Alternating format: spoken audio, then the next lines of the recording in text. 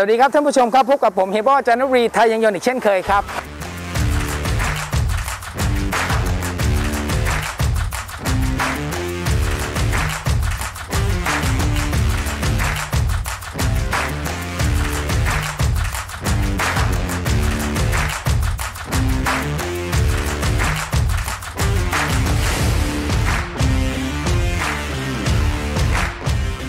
วันนี้ก็จะมารีวิวรถ Ford Ranger 3.2 นะครับ ลูกค้าท่านนี้มาก็บอกว่าเฮียป้อจัดเต็ม ไม่ว่าจะเป็นล้อยางโช้คอัพชุดรอบคันกันชนนะครับ ส่วนยางกับล้อเนี่ยแน่นอนครับ แต่งขนาดนี้แล้วล้อแท้ Fuel เท่านั้นนะครับ เป็นลาย reaction นะครับ พร้อมทั้งรัดด้วยยาง BF Goodrich ขนาด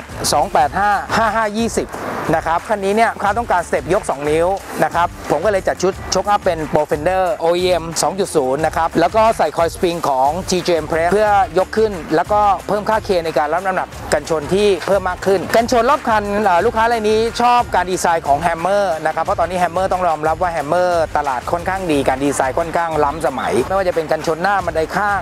แม้กระทั่งกันชนท้ายเป็นหรือ roll bar ด้วยนะครับ เป็น full set ของ Hamer เลยจมูกนะครับ เพื่อที่จะมาเสริมความดุดันด้านหน้าอีก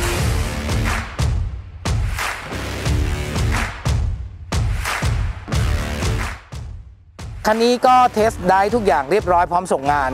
ก็เป็นอีกคันหนึ่งที่อยากจะฝากไว้เป็นแนวทางการแต่งของท่านผู้ใช้รถยนต์ฟอร์ดในจังหวัดจันทบุรีและจังหวัดใกล้เคียงนะครับ ท่านใด